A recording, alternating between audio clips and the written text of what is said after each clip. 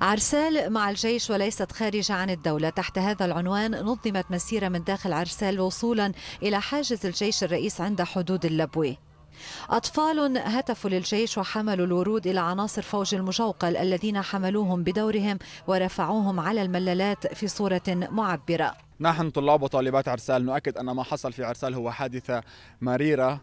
ونقدم التعازي لأهالي الشهداء وللجيش اللبناني ولكن ليس لوحدة الوطن. فوحدة الوطن اللبناني جبل لا يهزها ريح وإن عرسال هي من البلدات التي قدمت في سبيل الجيش اللبناني الغالي والنفيس وليس كل ما يظهر في الإعلام هو صحيح. وهذه هي ورود المحبة نهديها من قلوبنا وليس فقط من أيدينا إلى الجيش اللبناني العظيم. هكذا ربانا آباؤنا وهكذا سنربي أبناءنا. كبار تقدموا المسيرة التضامنية ولقاهم قادة الوحدات العسكرية المنتشرة في المنطقة.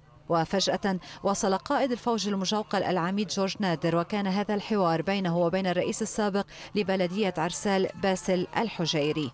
نحن أهل عرسال هن أهلنا في مجموعة من عرسال مطلوبين للعدالة بدي يتوقفوا ايا يكن وين كانوا؟ مع مين؟ وكيف؟ هو مطلوبين العداله عندنا لائحه بأسماء بدنا نوقفوا بس يتوقفوا.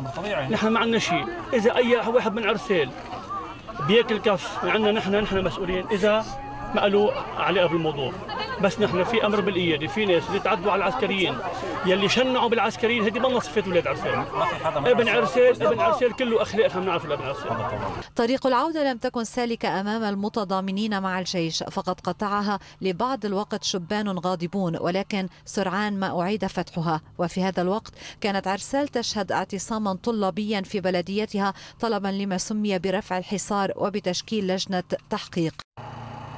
إجراءات الجيش مستمرة لا مذكرات توقيف ولكن هناك لائحة مطلوبين للتحقيق معهم كمشتبه بهم. والأسماء الواردة في هذه اللائحة هي التي تحاصر البلدة والمطلوب إما تسليمها أو إلقاء القبض عليها.